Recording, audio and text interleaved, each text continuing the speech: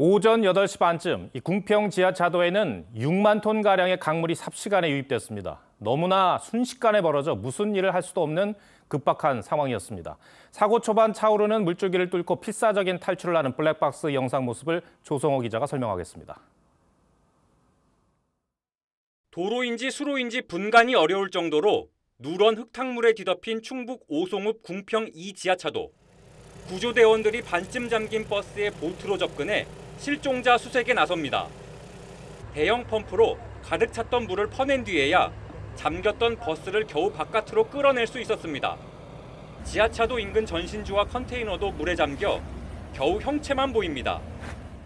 왕복 4차선 터널 길이 430m 지하차도에 물살이 덮친 건 어제 아침 8시 반쯤 한 차량이 지하차도에 들어서자 편도 2차선 중 한 차선이 물에 잠겨 있습니다.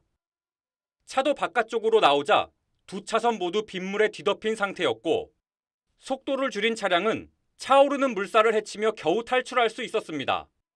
물이 차오르기 전후 지하차도는 통제되지 않은 상태였습니다. 들어오는 차하고 이제 나가는 차하고 같은 차선이니까 한 차선에서 역주행을 하니까 속으로다가만 욕을 했지요. 인근 제방이 무너져 밀려 들어온 물은 최대 6만 톤. 통제가 없어 그대로 지하차도로 향했던 차량 15대는 거대한 물살에 삼켜졌고 9명이 귀중한 목숨을 잃었습니다. TV조선 조성호입니다.